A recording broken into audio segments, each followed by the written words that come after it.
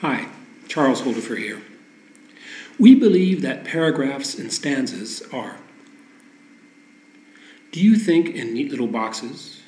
Do your thoughts and moods come with bold headings and chapters that sum up the content of your feelings? No. So why would you read that way? The human brain is this lovely jumble of nebulous and transient thoughts, opinions, and contradictions. The Newer York is the book for your brain. It's a book that sets your mind free because the writer's minds are free.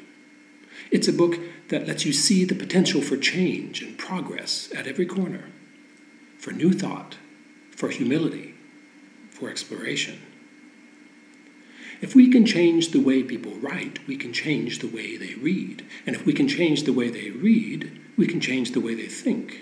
And if we can change the way they think, we can change the world. We will not stop. We're bursting with passionate ideas for the future of storytelling, and we need your help to make it a reality. Please support the Newer York and our writers, and thank you all so, so much for listening and for taking part. And by the way, we not only don't like stanzas and paragraphs, we really don't like the letter N. It really gets on my nerves.